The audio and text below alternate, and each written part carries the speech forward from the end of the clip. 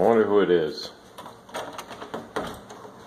Oh, what's up, sir? Hola, mi amigo. So, uh, I just came back from Denver, Colorado, and I got and I went to Rocket Fizz, and I got some flavors of soda. Let's try them. Okay, so so as you notice, I'm wearing my Rocket Fizz shirt, Denver, Colorado. That's where I got it. So I just decided to try one like a day because if you open them all up right now, then they're going to uh, like not taste as good. They're probably gonna get messed up. So I'm gonna just try one, and I'll try it here, and then do like a taste test, and I'll do one another day. So we have marshmallow. I was excited about this one, marshmallow.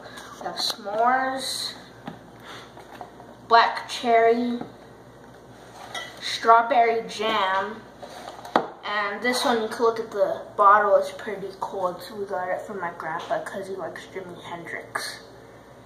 Okay, so let's start off with black cherry. Can you open this?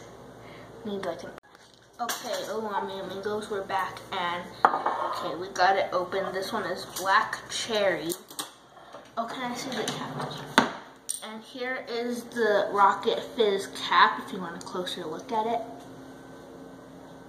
It says Rocket Fizz. Okay, black cherry Rocket Fizz soda.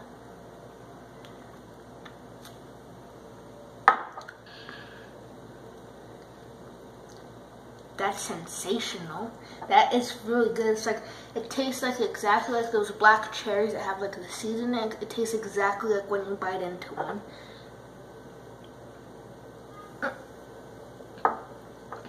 This one's really good. This one, I wasn't sure about getting this one. I was gonna get the the peanut butter one, but uh, I, I I'm glad I got this one instead. So I I, wa I watched uh, Evan Tube HD do the soda challenge. If you've never seen that video, go be sure and check that out.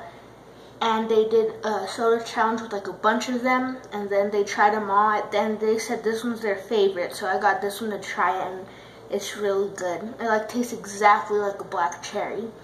So I don't. I've been. I've been saying I'm going to make a video on fluffy slime uh, probably not this week. This week I'll probably be more focused on doing all of these because it's been in the fridge for like a long time.